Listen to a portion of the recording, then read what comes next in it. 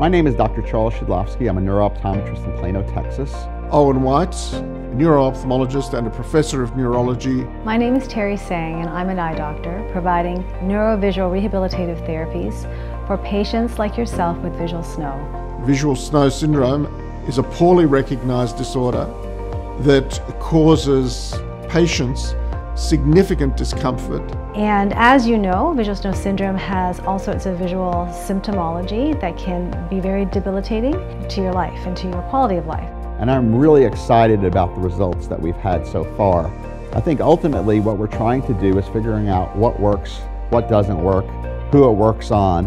And this is giving us a better opportunity to interpolate what treatments might be effective in the future.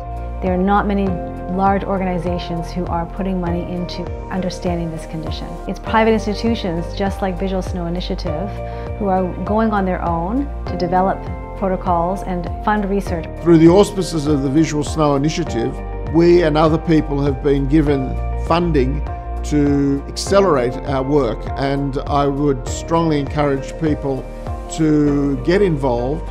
We are excited about the potential and the way you can help make this happen is to take part in the Visual Snow community, contribute to the Visual Snow initiative.